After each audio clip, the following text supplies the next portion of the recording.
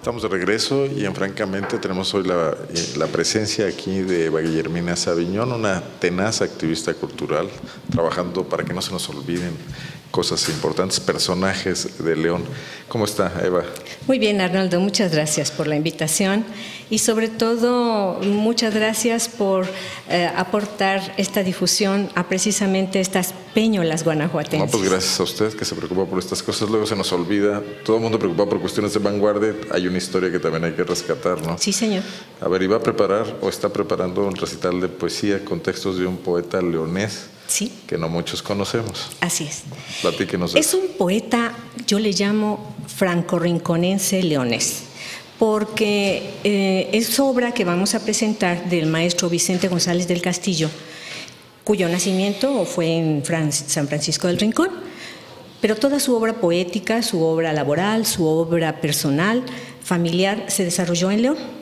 ¿Quién fue Vicente González del Castillo? Ni más ni menos que el fundador de la Cruz Roja Mexicana hace 102 años, del Archivo Histórico de la Ciudad, cuando ha sido conocida en los eventos en donde se homenajea a Vicente González, eh, en determinada administración eh, municipal se iba a tirar un montón de documentos viejos, húmedos, que pertenecían a la ciudad y él le pide a, título gratuito, eh, sin ningún interés, más que el rescate de, de estos Ahí inicia el archivo, con ese rescate. así es. ¿En qué año? Em, hace 62 años, más de 62 años. años Entonces, 40 o 50. Así es. Cataloga, eh, trata de restaurar los documentos que son la base del archivo histórico de la ciudad de León, Guanajuato.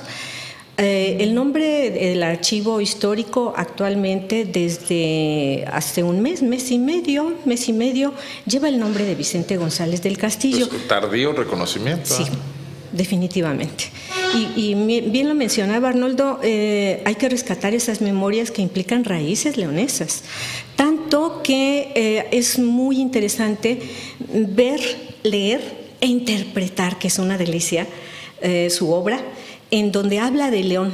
Precisamente voy a presentar un recital el día 13 del presente mes. 13 de noviembre. 13 a las 18 horas en el archivo histórico. En el archivo histórico, donde más, ¿no? Definitivamente, con un gran placer, donde muchas personas todavía no ubican el archivo histórico sí lo ubican como el, antiguo edificio de la ex cárcel de mujeres. Bellísimo edificio y cargadísimo de historia. Entonces es el mejor foro en donde podemos presentar esta obra. Y mm, a mí particularmente me emociona una... O sea, pero él era abogado de formación, ¿cuál era? Él era maestro. Maestro.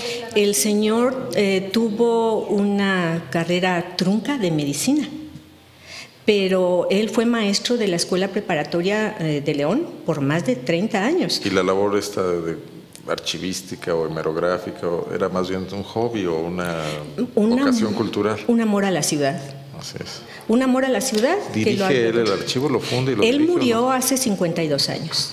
Voló a otra entidad eh, de vida hace 52 años. ¿Pero cuando lo funda se dedica a dirigirlo un tiempo? Sí, sí. Después eh, vienen personajes importantes eh, a dirigirlo, como Timoteo Lozano y otros personajes. Entonces, eh, es, una labor interesante. Pero eh, también su obra poética lo es, tiene poemas bellísimos. Eh, desgraciadamente tampoco, tuve un, en un pasado... A ver, entonces aparte escribía. Definitivo, bellísimamente. No se va a ir sin que nos recite un poema o nos interprete un poema de Vicente González del Castillo, ¿no? Con el mayor placer. Mm, Vicente González tiene, habla, hay un poema eh, que inclusive en la ciudad de León lo ha declamado eh, Juan, Carlos Porras y su servidora, en ensamble, pero me gusta presentarlo en ensamble porque es un, un poema que habla de León. Es, una leyenda poética, bellísima, La Cruz del Padre que habla de la cruz de cantera que fue colocada en una esplanada cerca de aquel templo, aquel templo dedicado a, como lo llamaban los iberos, Santiago. Entonces, y hay una cruz del Padre por ahí, en, en, en los alrededores. Entonces es un poema hermosísimo que me gusta presentarlo en ensamble con varios declamactores que voy preparando. ¿Como coral? Eh, no, coral no. No me gusta la poesía coral porque se pierde, no llega el, el, contenido del ah. poema. Es, es, un ensamble en donde hay un, eh, una línea, válgame la, lo gráfico que pretendo ser, una línea de declamadores, inicia uno, los demás estamos de espaldas. E inicia uno, que es el que está de frente al público, inicia el diálogo. Eh, termina su diálogo y, cambia el otro y inmediatamente el diálogo, el diálogo no se suspende. Entonces me gusta ese Un poco teatral también. Sí. Eso lo, van a poder escuchar. Qué bueno que dice esto de teatral porque eh, quisiera comentarle lo que implica la declamactuación.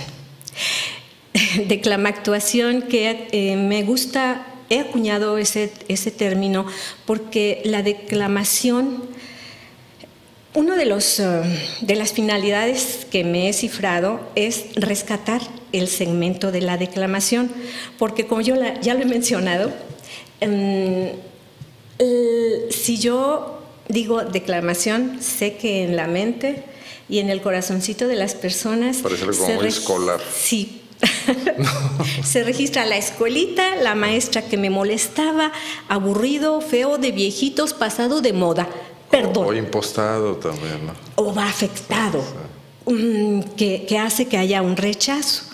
Garrick y cosas así. el business bohemio. El business bohemio, la chacha Micaela, eh, porque me quité del vicio. Entonces, esto es algo más natural. Es, es natural, debe ser natural. Una actuación, Arnoldo, porque yo le llamo a la declamactuación en razón de que es verdaderamente un solo de actuación. ¿Por qué razón? En el teatro, como usted lo mencionaba, en el teatro tengo yo mi, coprotagonista, eh, mi protagonista primero, el segundo, eh, tengo eh, el actor tercero, el extra, la escenografía. Pero en la declama actuación es un solo de actuación en el que con mi corporeidad voy a entregarle al público el contenido de una obra muy seria, muy sentida, llena de valores, de un idioma bien manejado, que tan atentado está en nuestros días, ¿no? Entonces, es la idea también de rescatar nuestro idioma, de afincarlo, de afincar valores y de rescatar. ¿Se prestan los textos de don Vicente González del Castillo? Definitivo. Inclusive, Arnoldo, hay personas... ¿Y está editado? ¿Se puede conseguir sus obras? No. Otra, otra tarea ahí pendiente. Otra tarea muy importante. Cuando yo empiezo a, montar, yo, le he montado ya uno en San Francisco, uno en, el, en la terraza del hostal El Armario, cerca de donde prácticamente él fallece, em, y otro en la Escuela Preparatoria de León. Entonces, cuando, cuando empiezo a entregar los textos a los alumnos, me dice uno de ellos, ¿y dónde encuentro los libros? Los he buscado y no están, no, no hay en las librerías. Eh, ¿Usted cómo consiguió estos textos? ¿Cómo lo conseguí? En una experiencia hermosísima. A mí me entregó su libro, una antología, ups, hace 28 años, su nieto, ya fallecido, Manuel González del Castillo, eh, me lo entrega para que eh, declame yo algunos poemas en un programa que se hizo entonces de su vida en, el Canal 4, en el canal estatal.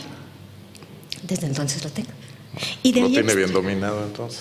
Sí. A ver, deleítenos con una interpretación breve de un texto para, para tener un poco más de idea de qué, vamos, de qué van a ver o qué vamos a ver los asistentes este 13 de noviembre. ¿Cómo no? Hay un poema hermosísimo que se llama No prodigues tu acento. Y señala no prodigues tu acento.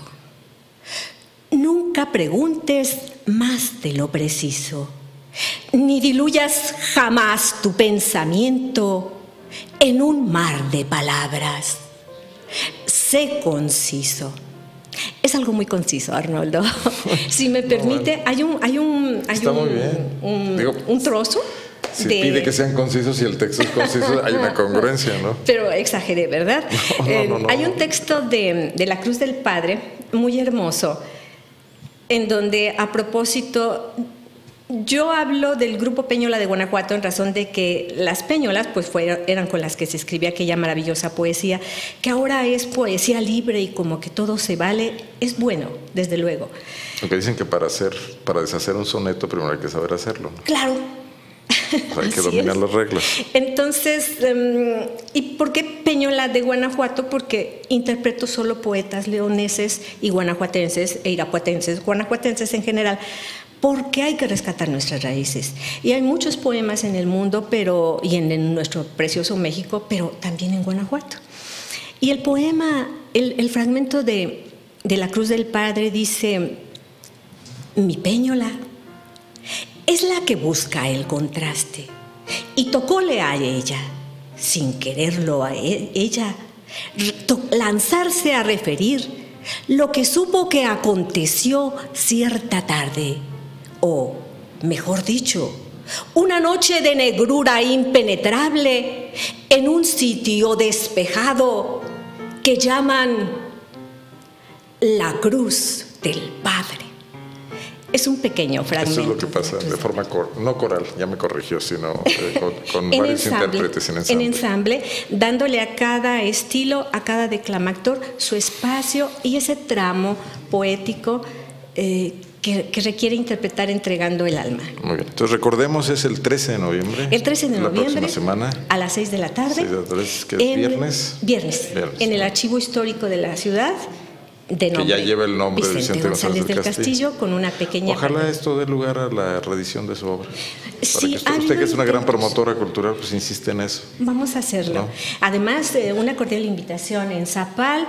Eh, tengo una presentación individual, no es recital mío, una presentación el día viernes, este viernes, que, el 6. El 6, viernes 6 a las 4 de la tarde en eh, los auditorios, las aulas de Zapal, que organiza con motivo del Día de Muertos algunos eventos culturales. Ahí son otros textos. Sí, ahí voy a declamar la magnífica poesía em, La décima muerte, fuertísima Ah, inmensa de Javier Villarrutia. Javier Villarrutia, perdón. Y para entonces de Manuel Gutiérrez Nájera. Y déjeme decirle, voy a tener el enorme agrado de, decir por primera ocasión una calavera poética que le hicieron a Peñola de Guanajuato hace dos años. Muy bien. ¿Quién es el autor? Javier Reyes. Muy bien. Bueno, pues entonces en Zapal este viernes y en el Archivo Histórico el próximo. Así es. Muchísimas gracias, Eva. Un placer. Muy amable. Un placer. Vamos a dejar la poesía para ir a cosas del mundo real, ni modo. Vamos a tener entrevistas enseguida con el titular de YACIP, el presidente del Consejo de YACIP, Mario Morales, y después con el procurador del Medio Ambiente de Guanajuato.